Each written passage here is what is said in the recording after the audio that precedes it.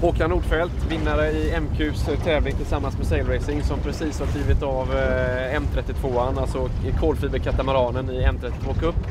Hur, hur är känslan? Jo men det var ju kul. Det, det som är det är ju det att för mig är ju segling en helt ny grej. Jag kan ingenting om segling och ännu mindre om det här. Men eh, jag förstår ju att vi har lite otur med vind. Och eh, eftersom jag är eh, lite fartfylld själv i de grejer jag håller på med så hade det varit kul att riktigt få några slag här var väl okej okay, men eh, det som var intressant är ju att följa liksom toppidrottsmän när de jobbar och det, det är ju kul att se. Man kan tänka mig att även om det inte var eh, fylld action så är det mycket järnverksamhet och oh ja, taktikdiskussion. Och...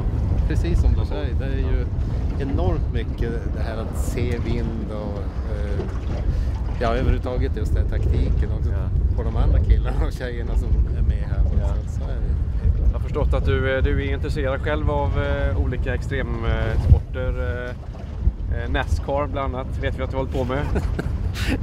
ja, det, det, är väl så att... Eh, blir det, blir det extremsegling nu framöver då kanske? Nej, jag tror inte det. Alltså, jag har väl, får väl hålla mig till mot och det är väl liksom det som är då. Och det, jag bor i Skellefteå och vi har ju inte möjligheter att hålla på med allting under den öppna vattensäsongen. Det var ju en frysen, frusen vattensäsong. Va? Så att, eh, vi får hålla på med snöskoter och skidåkning och sådana saker istället. Va? Så att, eh, det är ju det som är eh, skillnaden.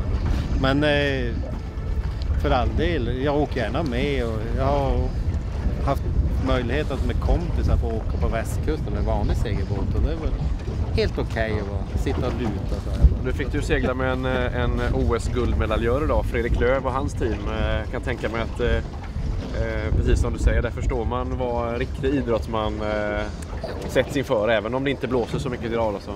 Nej, men det syns ju liksom hur otroligt erfarna de är och det snacket de för och hur de hoppar åt och fram och hur man det syns ju.